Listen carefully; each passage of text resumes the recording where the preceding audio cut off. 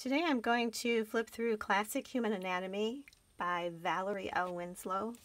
This is one of my favorite books, if not my absolute favorite book on life drawing.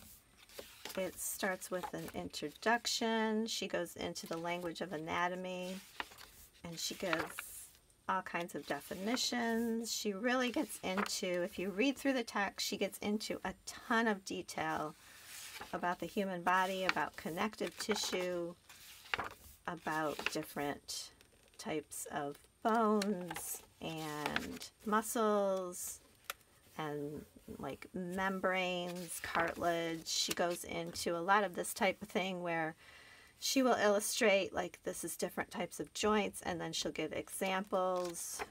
Um, the first chapter that really gets into the body is the head, neck, and head, face, and neck. And then she um, kind of goes from there through the different parts of the body in detail. And there's these nice tabs on the ends of the pages so you can find specific things you're looking for. The chapter on the torso is my absolute favorite. She really makes everything clear, how the body moves, how different muscles move, how to find landmarks of the body, the difference between the male and female anatomy. It's a great illustration of this. Her illustrations are so precise and so clean. She moves on to the arm and then goes into a really nice set of pages on the hand with a lot of detail. And then goes through the lower body, the leg, and also has a chapter devoted just to the foot.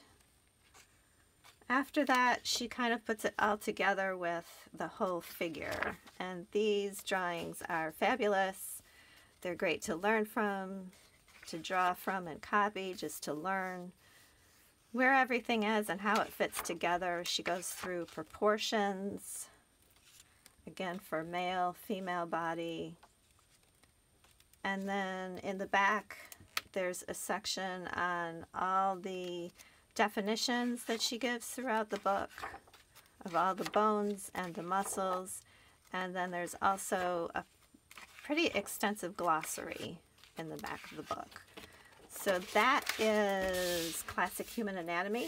If I could only own one book on life drawing, this would be the book. It's If you read it all and you go through it chapter by chapter, it's sort of like an entire course on human anatomy.